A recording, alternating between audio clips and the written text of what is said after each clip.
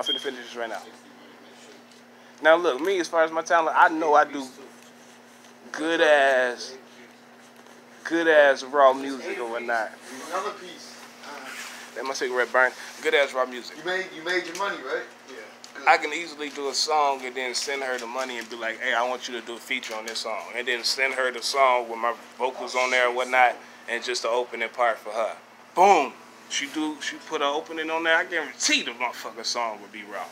But even aside from that aspect, boom, That's a I'm building further So you're saying if you can get if you can get it, if you can get enough money to get features from the, both of them, that can cause you to gain some notoriety because they Right. both got fans, and if people like you, especially because they'll be your songs featuring them, they'll see your name and you'll start to get some notoriety maybe. And if not now, eventually, and the beautiful part, the third aspect to it is fucking implanted anytime. and it's embedded. So it's a part of history in a sense, at least in her space. You know what I'm saying? My space too, but we was able to kind of merge for a second. You know what I'm saying?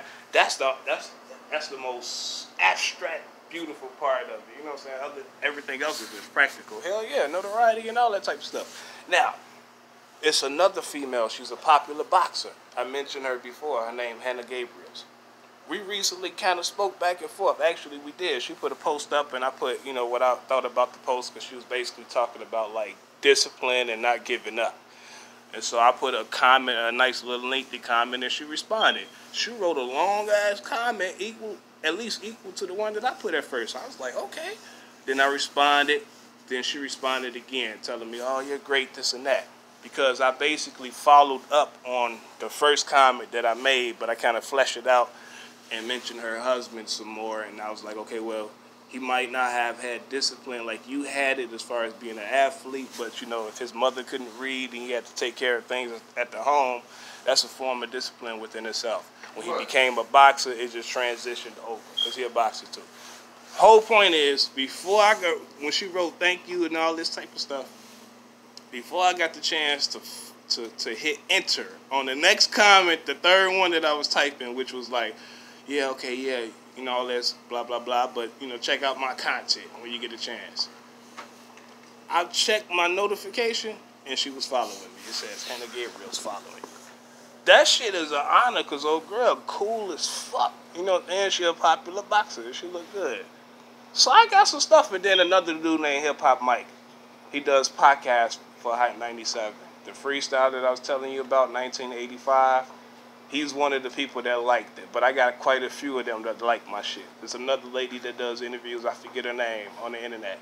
Now, she ain't as huge as somebody like, you know, the people of the Breakfast Club or, you know, Ebro, but, you know, she got a foot in the industry. She interviewed celebrities as well, mostly musical artists.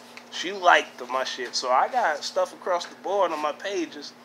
I just feel like, damn, you know what I'm saying, a little more money. Fucking job in the crib mostly.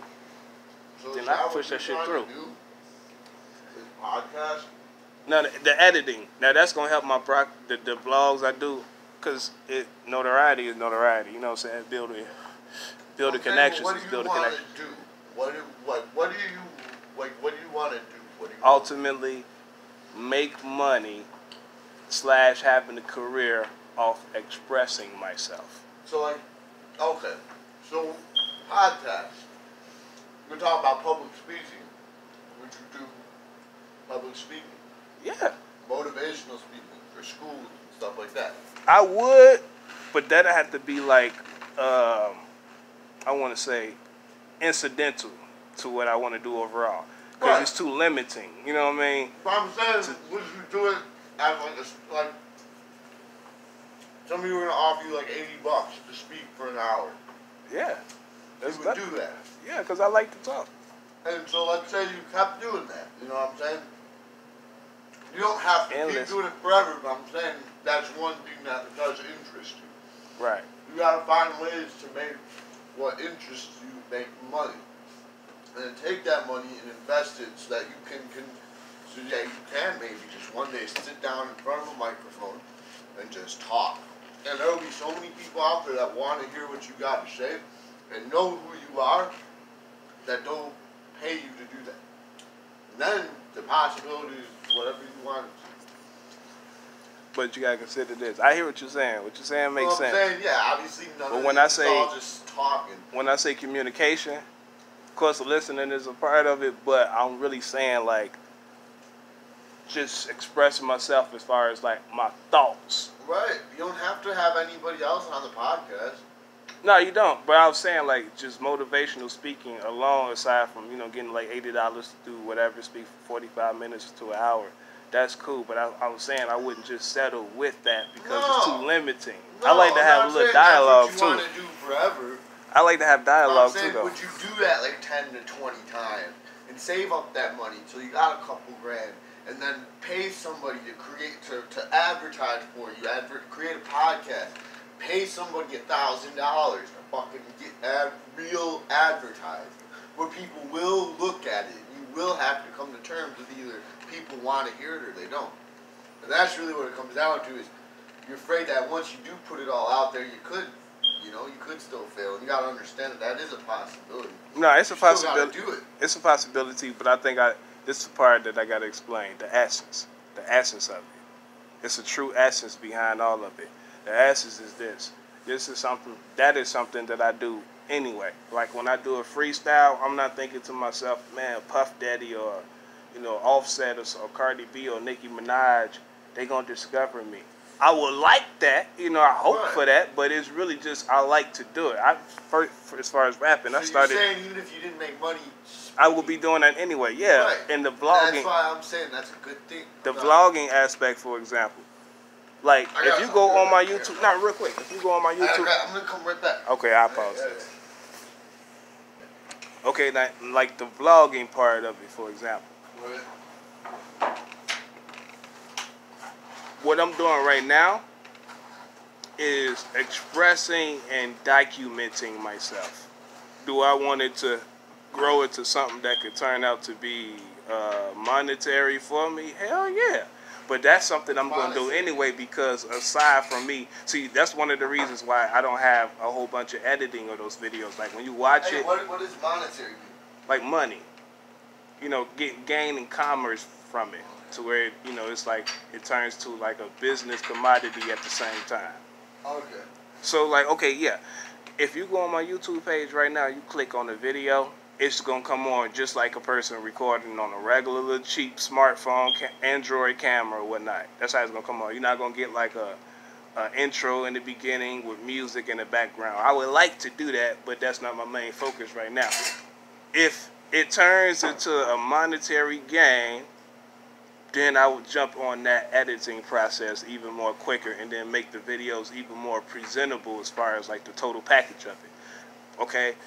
Which is probably something I'm gonna do eventually anyway, it's inevitable. But if it turned to a business interest, might affect the yeah, yeah, it, it it'll make it a better model. You know what I'm saying? So I jump on it quicker. But even beyond underneath that in itself, it's the content that I recorded. Not being cavalier, you know what I'm saying? Self confident, of course, that's in there. But I am 100% sure that the content that I provide is timeless because a lot of it's an orig- is original. Like if I'm reading something historical and I start processing it in my head and I try to make sure I galvanize, galvanize sufficient, no, not galvanize, but gain enough facts about what I'm reading about and then consider all these facts and then if I feel like I discovered something that's keen, that's notable, man, I put those shits out on my blog, or I might just talk about something, you know, that type of stuff. Right. The, and I've seen a lot of documentaries in my life, you know what I'm saying? I know about a lot of historians, I've just seen a lot of lectures. I know for sure, you know what I'm saying, based on the large volume of information in the back of my head, the shit that I come up with does not sound like none of it. It's completely different. So I'm saying, like, I feel like I, I make history in the moment at the same time, even if the recognition is not there, but it's being documented. You know what I mean? So the oh, Okay, monetary so thing is like a fade away, hopeful, I'm not fade away. smart. What's Okay. some of your breakthrough ideas? Like, what's, what's some? What's your original thought? Thank you for asking that. All right, this right here is a little radical because of the I'll, truth I'll listen. You Okay. can tell me original thought. I give you oh, one. care I'm, I'm, I'm giving you one right now because I got a whole bunch of them. Okay, just joints. give me one. One of the like the Okay. ones. Native Americans, for example. Right? Okay. Supposedly, they first came to North America through the, through the Bering Straits, right? Anytime between what, 17, 16 to 22 to 23,000 years ago, Okay. right? Okay, I'm, I'm, Now. I'm, I'm halfway there. Okay, you follow that part. Right. You're talking about 17,000 years ago, Americans came from. You're talking about when like the continents weren't even all where they are now. Right. Okay. You had the you still had that little strip of land, the Bering Strait. It wasn't completely surrounded by the um, Indian, not Indian Ocean, the uh, Pacific Ocean. Not yet. You know what I'm saying? Okay. So these people supposedly came over here. Now, genetically speaking, a lot of people say that human beings first entered Europe about 40,000 years ago. It's a guy named Jared Taylor. When he speaks about Europeans, because he's like a, he's a white nationalist, right? I heard a lot of his shit too, by the way. So All across the board. Everybody. No, no, no, no, no. Check it out. One of his contentions is that white people emerged 40,000 years ago. You have a five percenter theory that I know you heard about. The story about a guy named Yaqub, which is something that the Nation of Islam believes in as well. I'm just saying, it's a whole No, different I have perspective. not heard about it. Well, from their point of view, for example, because I gave you Jared Taylor's, from their point point of view, white people came about six thousand years ago through a genetic genetic engineering process. They call it a grafting process. You're basically taking groups of people and you're merging them sexually. You're trying to get a lighter color. Once these lighter colors come out, then you take that lighter color, you had them have sex or whatever, until they breed more lighter and So you're lighter talking about inbreeding created white people. Thi- This is this is this is This their is a this is their theory. point of view, and By it who? was done. It it, it By was basically Islam? done in God, like I'm so 200, glad I hate Islam. 200 what? I forget exactly how I go, but basically they're saying white people didn't come about to six thousand years ago. Okay, that's so, their point So they're saying that human humankind is forty thousand years old. White people are six thousand years old. Yeah. Well, that well as far as human beings, no, I think they believe they go back uh, hundreds. They go, they believe we go back millions of years. Who believes we go back millions of years? People that adhere to this five percent theory or those a part of the Nation of Islam, you believe from which they 5% branched out from. But no, let me let me tell No, you. wait, I'm, me- about- I'm, me I'm going quick, to tell you Do my you original thought. No, I don't. You believe No. in Islam? No, no, I do not. Okay, so all right. I got right, my own same- signature. That's my we're, point. We're on the same page. I I, don't believe Christianity either. I don't believe. in No, no, I got my. I think I just think what I think. I got my own fucking cool, thoughts. cool, But going cool, back to this original idea, I'm gonna try to close it up. Okay, now You know how dumb Christopher Columbus came here here for 1492, millions right? Years, Now, check this we out. didn't do shit for millions of years, but hit rocks against the wall. No, we could get to that too, but I'm just saying. But let me just say this also: all across the board, every type of demographic, You think there's All like my opinions together, that kills us all my opinions so every, far, every like twenty thousand. you're gonna find portions of facts and things that I think that's gonna offend every type of breed of people. That's what I'm trying to say. This particular idea right here is just related to like the birth of white people.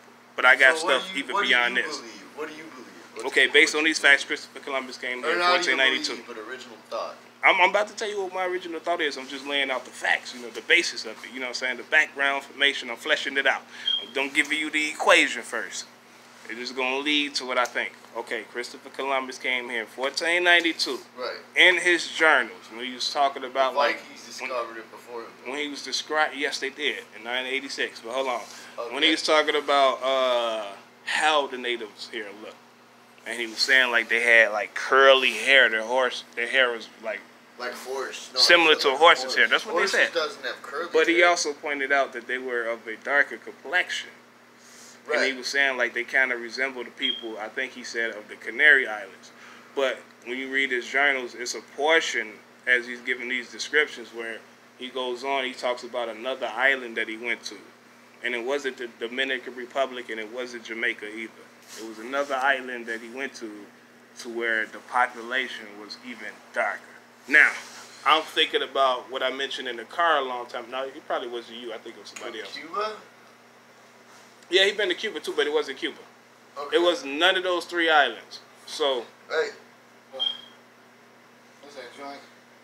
in my head, I'm thinking about the landmass. The Atlantic Ocean is what? 4,000 miles away. Miles You know what I'm saying? I mean, thousand miles wide as far as separating North America and Central America from fucking Europe. Africa and Europe. Okay. It's about 4,000 miles, right? No other population aside from the Vikings in 986 came to the Americas. Oh, and of course, like the Africans, There. who I think probably was uh, the Nok people, but that's a whole nother story. But aside from that, nobody ha- ha- ha- ever came here. Here, genetically speaking, if it's impossible for a white person to produce a darker complexioned individual, you're talking about the gene ills and all of that, and the variations, if that is impossible through the process of recombination, if he discovered Native Americans in 1492 that were of a darker complexion, that means when they came here between 16, 17 to 22 to 23,000 years ago, that those were black people. So white Who people. turned so white people- inbreeding. You're saying turned into Indians. That's what you're saying. That's No, no, I'm saying that the people that came from Russia through the Bering Strait, anytime between what, 16, 23,000 years ago, Were black. those were black Europeans, black Russians, or people of color. You know what I'm saying? I'm not saying they, because I got a whole, You- I I'm saying, how did they turn into Indians? Just be- the native culture. Like, for example, when they came here, uh, they began to migrate or- as far as Mexico, and they had like the spears that they had or whatnot, the javelins. I call them spears. the Aztecs. the They had like a pointed tip So you're saying in they mixed with the Aztecs and Mayans? No, they came much later. These are the ancestors of the, the Aztecs and the Mayans and the Incas and all these people. These are the ancestors of all those black. people. I'm talking about people that go back like thousands and thousands and thousands of years ago. I'm not talking about doing Christopher Columbus's time. no, no, I get what you're saying. You're saying, you're saying, you're saying, you're saying 14,000 years ago. You're saying before we have recorded history. I'm saying at least 15,000 years ago, the planet was still filled with people of color, that white people did, didn't exist. Neanderthal history, that's a whole different aspect. So but I'm keeping this on the original part real quick. White people did not exist, so it is not true that white people came about 40,000 years ago, especially when you're talking about people uh, moving from Africa throughout the Middle Middle East, probably So through the Black and Caspian Sea, or going? More west to uh, to fucking when do you Turkey and whatnot. white people came? Uh, I, I say I always say at least no earlier than fourteen thousand years ago. And how, how do you think they came? I think they came through uh, adaptation, adaptation through the environment, to the climate. Especially if it's true that, like in Europe, for example, That would make sense. when you I think about the Earth and the first person was black. That's just my opinion. No, no, but but this is my, this is my thing. Nobody holds that opinion that I have, and that opinion in itself holds a lot more weight because it's a lot more facts that supports what I think that has nothing to do with Native Americans whatsoever. As far as that one particular original idea I just put forth, white people could not have been evolved to who they are today no fucking earlier than 12,000 BC. Absolutely not. It's impossible. I don't think white's a form of evolution, though. I think it's more of like um, like it's like when you don't use a muscle and it, you, you stop having that muscle. When you don't need to hide from the sun, your skin does, it stops creating that genetic code. And so, well, it is a weakness if you want to look at it like that. You get what I'm saying? Realistically. or just a difference. Either one. Eh, Right, right. But I'm saying no. But I'm saying like realistically, it's a body's ability to, you know what I'm saying? It's a body's ability to reflect the sun. You already Like, know that's that. Get, get absorb nutrients from it, and you know what I'm saying. And when it's not there a lot, you don't have to do it a lot. You feel Right. So that would make sense. The see exposure, the time of the exposure, the climatic, like the time of would make sense population of we people. would, we would we would originate a sunny place over a cold climate. It's easier to survive in a hot climate, so we would start. Every, every, every like civilization would start in a hot climate, then people would move everywhere. Right. You know what I'm saying? The melanin And absorbs. they would adapt to those climates, and then you know, then you have Chinese, you have other, you know. But then, isn't China hot as fuck? Know. The Chinese are crazy. You know, it's a it's a lady named Maria Willowby on YouTube. She's Asian and black. When I look at her, I'm like, that's an example of how people in northeastern Asia look, pretty much. At least going back 14,000 years ago. But that's just on that side. See, that's just like looking at it from like a, a, a, a phylogenetic racial sense. It's just differences of people, how people came about. That's what I think. That's just what I think. But shit. It's possible. We'll never Now. know, but Have you ever heard anything like that in your life? Absolutely not. Nobody never pointed it out as far as like uh, I have not heard anything like Christopher that. Columbus I'll- and what he yeah. mentioned and, and, and, and what don't that really think fucking Christopher means. Columbus is thinking along those lines yet. I think he is more like gold. There's gold here. Now here's another. Here's another original. Look, here's another original. It's, it's, it's now this is this right here may offend. You know what I'm saying? Certain black people. Uh oh. Deal. People say that the Malians came here, I looked this up recently, man. I still ain't do my official blog about it, but I did talk about the shit for like 40 minutes altogether in three different parts. But it's original. I got this documented too. First person who said this and noticed it. It's two scholars. It's a lot of them. But they wrote documents, they wrote books and stuff, and they had like facts up in there. And it was one of them pointed out that the Malians came here because a guy named uh, Abu Bakr II. You hear me? Abu Bakr II, sometime in 1311. Uh, You ain't got a blunt, Leo? He gave he gave up his throne because he ca he became privy to some information that America, or at least the landmass of America, existed. So he was convinced enough to where he got he, he gave up his throne. So that's when he gave it to uh, Mansa Musa, you know, the guy that made the famous pilgrimage in 3, 1324. Anyway, so he gave up his throne to him so he could pursue those aims. Supposedly took like 300 boats the first time, second time like 3,000, a whole bunch of gold, food, all kind of stuff that they needed for the journey. He went and didn't make it back. People assumed that he died there.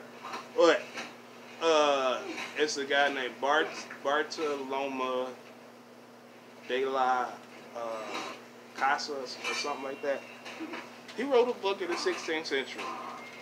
This guy is referenced by some of these scholars.